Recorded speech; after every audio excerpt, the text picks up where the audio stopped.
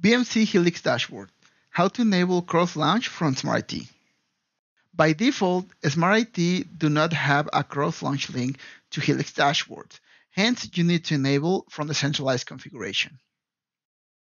From Helix ITSM Classic console and as an admin, we need to go to Applications, AR System Administration, AR System Administration Console.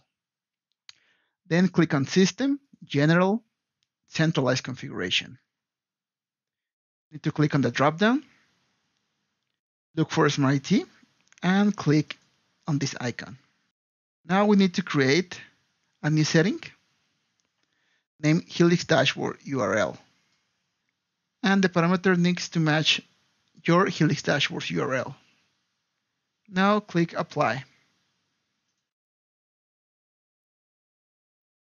Helix Dashboard URL should show now on SmartIT. You need to click on More.